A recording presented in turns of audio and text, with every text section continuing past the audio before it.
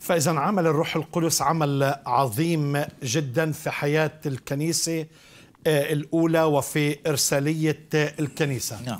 طبعا أنت ذكرت يعني السلطان آه، الروح وأنه الإنسان عصى الله والرب طرد آدم وفي نفس الوقت أعطاه ما يسمى الوعد ال- المسياني ولكن في مجيء المسيح المسيح أنجز الفداء. أنت بتتكلم على دور كل واحد له دور وأن الروح ختم.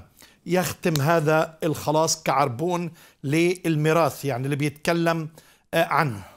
آه، في في ال- ال- الختم الختم اللي هو إن أنا أصبحت ملك ليسوع آه، ملك للآب لأن أنا آمنت بيسوع بعمله على الصليب. فأنا أصبحت ملك لله.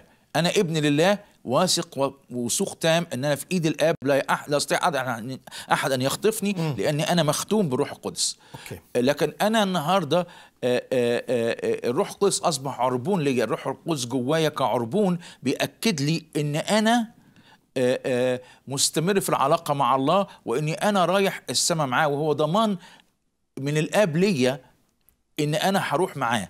إن أنا هكون ليا حياة أبدية. وده اللي كان طمعان فيه آدم عشان يأكل من شجرة الحياة فأصبح لينا في يسوع إن يسوع هو شجرة الحياة. فأصبح لينا في يسوع إن إحنا لينا ضمان حياة أبدية مستمره وذكرت الآية من رسالة بولس إلى كنيسة أفسس ولا تسكروا بال- بالخمر الذي فيه الخلاعة. بل امتلئوا ذكرت أنه محتاجين نفك هذه الآية آه. حتى نفهمها. الخ- الخمر لما بنشربه بيسيطر سيطرة تامة على الإنسان لدرجة ممكن إن هو يفقد وعيه ويغيب عن الوعي.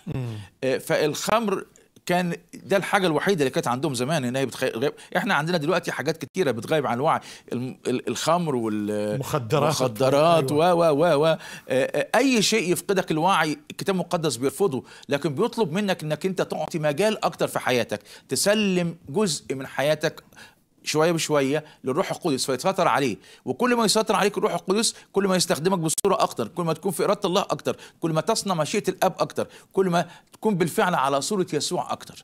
لأن الروح القدس هدفه الحقيقي حاجة واحدة إن يغير شكلي وشكلك وشكل كل واحد فينا عشان يكون على صورة يسوع.